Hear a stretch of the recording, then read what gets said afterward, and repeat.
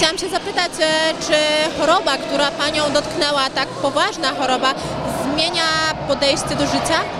E, Zmienia podejście do życia, ale przyznam Ci, wiesz co, że rok temu było całkowicie zmienione. Byłam całkowicie do przodu, uśmiechnięta, wesoła.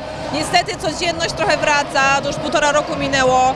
E, praca, bieganie, o wszystko dookoła trochę jednak się robi e, znowu tak, tak taki kołowrotek trochę się wchodzi. E, więc ja się cieszę, że to się wydarzyło, bo sobie przypominam, żeby do tego wracać, żeby się cieszyć. Jak jestem zmęczona, to nie jestem zła, żeby wstać rano, tylko mówię dzisiaj odeśpij, albo dzisiaj nie wstawaj o 7, o 8, 6, tylko po prostu poleż chwilę, więc, więc dzisiaj na przykład się cieszę, bo sobie doleżałam, chociaż jest niedziela właśnie, więc doleżałam dzisiaj, bo wiedziałam, że po południu mamy akcję, wspieramy, więc rano nie robiłam od samego rana naleśników, tylko odpoczywałam. A od kogo Pani otrzymała najwięcej wsparcia w e, czasie choroby?